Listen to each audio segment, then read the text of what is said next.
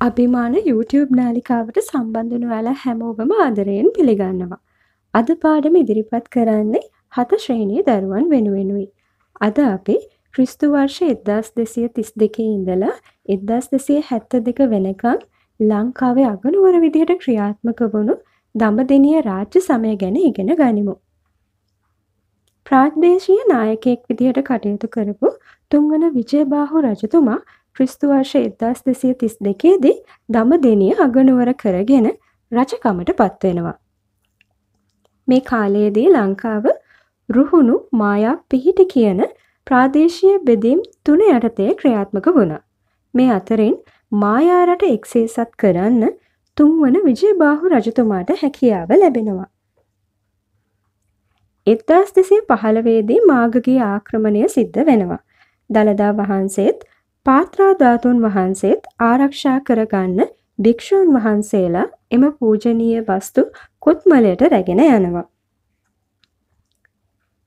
තුන්වන විජයබාහු රජතුමා දළදා වහන්සේත් පාත්‍රා ධාතුන් වහන්සේත් දඹදෙණියට වැඩම කරවනවා. ඒ වගේම කෑගල්ල දිස්ත්‍රික්කයේ බෙලිගල පර්වතයේ දළදා මැදුරක් ඉදි කරවලා මේ පූජනීය වස්තුන් එහි තැන්පත් කරනවා. මෙය තුන්වන විජයබාහු රජතුමාගෙන් සිදුවුණු විශිෂ්ට සේවාවක් විදිහට සැලකෙනවා. තුන්වන විජයබාහු රජතුමාගෙන් පස්සේ එතුමාගේ පුත්‍රයා දෙවන පරාක්‍රම බාහු නමින් ක්‍රිස්තු වර්ෂ 1236 දී රජකමට පත්වෙනවා. මෙතුමා ලංකාව එක්සේසත් කරලා සාමකාමී රටක් බිහි කරන්න කටයුතු කරනවා.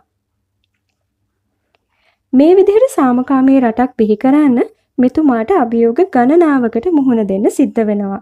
ඒ වගේම සතුරන්ගෙන් රට නිදහස් කරගන්න මෙතුමාට සටන් තුනක් මෙහෙයවන්න සිද්ධ වෙනවා.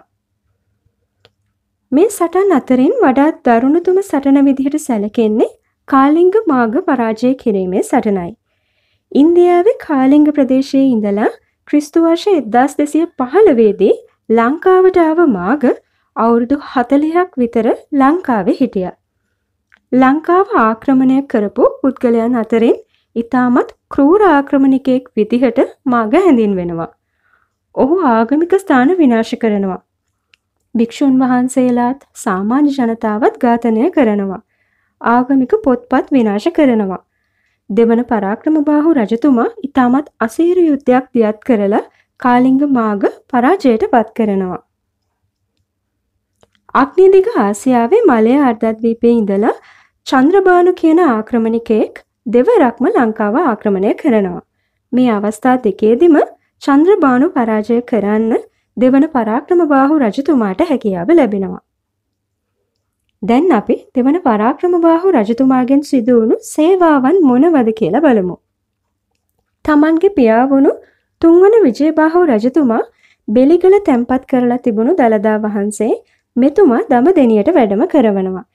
ඒ වගේම මෙතුමා දළදා වහන්සේ තැන්පත් කරන්න දළදා මැදුරක් ඉදි කරනවා. දේවපතිරාජ ඇමතිවරයා ලවා රටේ සංවර්ධන කටයුතු සිදු කරනවා.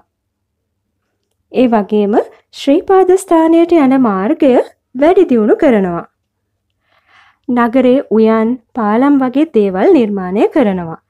පොල් වගාව දියුණු කරන්න කටයුතු කරනවා. දෙවන පරාක්‍රමබාහු රජතුමා සිංහල පාලි සංස්කෘතික භාෂා හදාරපු පණ්ඩිවරයෙක්.